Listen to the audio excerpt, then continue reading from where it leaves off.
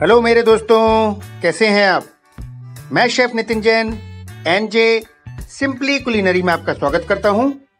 तो जल्दी से मेरे चैनल को सब्सक्राइब करिए इंग्रेडिएंट्स नोट करिए, और चलिए आज की रेसिपी की ओर। आज झटपट से आटा चीज़ रोल बनाते हैं, जिसके लिए दो कप आटा लिया है, इसको हम छानेंगे।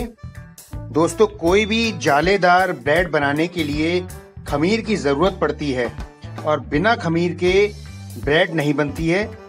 खमीर जो है, वो नेचुरल तरीके से भी बनता है और नेचुरल खमीर मिलाकर के भी ब्रेड बनाई जाती है।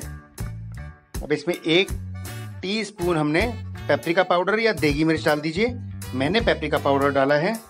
ये मैगी का मैजिक मसाला डाला है। अब आपको नमक डालने की ज़रूरत नहीं है। इसमें सारे भुने मसाले डले हुए हैं। इसको मिक्स कर लेंगे। अब ड्राई ईस्ट के अंदर एक चम्मच ड्राई ईस्ट और एक चम्मच चीनी को मिला के उसमें हल्का गुनगुना पानी डालेंगे, जिससे कि आपका जो ईस्ट है वो एक्टिव हो जाएगा। इसको 10 मिनट के लिए रेस्ट देंगे। तब तक अपना गार्लिक बटर चढ़ा लेते हैं। आपका दो टीस्पून बटर के अंदर थोड़ा सा प्याज चॉप करके और गार्लिक चॉप करके डाल देंगे और इसको धीमी आँच पे रख देंगे 15-20 मिनट के लिए। अब ये आपका खमीर उठ गया है। इस खमीर को आटे में मिलाएँगे।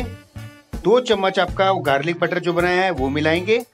और पानी जो थोड़ा ठंडा हो, उसके साथ इसको आटा मलेंगे। दोस्तों, आज जो हम इतनी अच्छी खमीरी ब्रेड और जालेदार जो हल्की ब्रेड खाते हैं, इसका इन्वेंशन आपको पता है, पाँच हज़ार साल पहले इजिप्शियन के द्वारा हुआ था।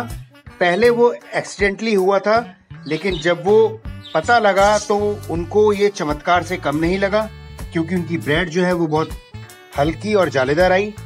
अब इसको ढक करके रेस्ट देंगे 20 मिनट के लिए। आप 40 मिनट देंगे तो और अच्छा आएगा। अब ये रेस्ट देने के बाद इसको हम बेलेंगे पतला पतला। तो पहले जब खमीरी ब्रेड बनाते थे तो उसका स्टार्टर या उसका खमीर खुद ही प्रोड्यूस करते थे। जैसे कि आपका जर्मनी में एक ब्रेड बनती है सॉर्डो ब्रेड उसका खमीर उसी के स्टार्टर से बनाते हुए रोटेट किया जाता है। अब इसको बेलने के बाद इसके कॉर्नर को बराबर कर लेंगे। दो उंगली की मोटाई की पट्टी काटेंगे और फिर इसके अंदर चीज़ भरेंगे, उसको दबाकर बंद करेंगे और ट्विस्ट की तरह रोल करेंगे और फिर उसको हम प्रूफ करेंगे और बेक करेंगे। पहली बार कमर्शियल तौर पे खमीर को बेचने की जो प्रक्रिया है वो 19वीं शताब्दी में चालू हुई थी, जो कि खमीर बना करके बेचना एक बियर की ब्रूअर कंपनी से प्राप्त करके एक बेकर कंपनी ने अपनी ब्रेड को प्रोड्यूस किया था। अब इसके अंदर अब चीज़ भरेंगे, जैसा कि आपको बताया, और इसको रोल करेंगे। आप ध्यानपूर्वक वीडियो को देखिए, उस हिसाब से इसको फॉलो करिए। तो फिर खमीर खरीद के जो ब्रेड बनाने की जो प्रक्रिया थी, उस प्रक्रिया को डच प्रक्रिया के नाम से जाना जाता है, क्योंकि पहली बार उन्होंने ही कमर्शियल तौर पे इसको बेचने की प्रक्रिया चालू करी थी। जो कि जर्मनी में बाद में फैलती गई।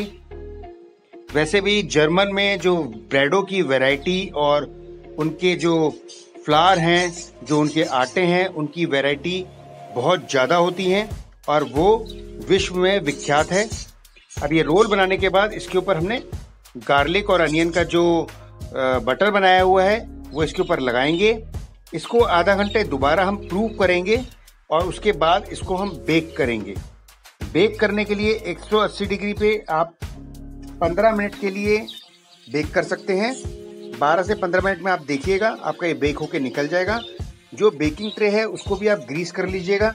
और अगर आपके पास ओवन नहीं है तो आप भगोने में स्टैंड लगा करके, उसको प्री हीट करके और उसके ऊपर ट्रे लगा करके, उसको ढक करके आप पका सकते हैं सूखी हीट में।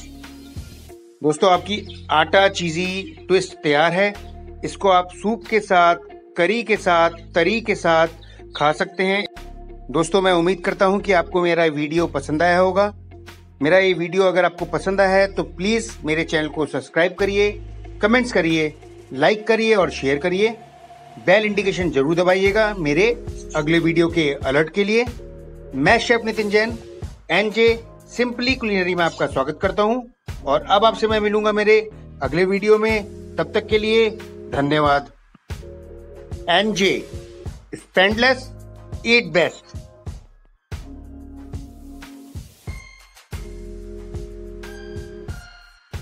see it try make it serve it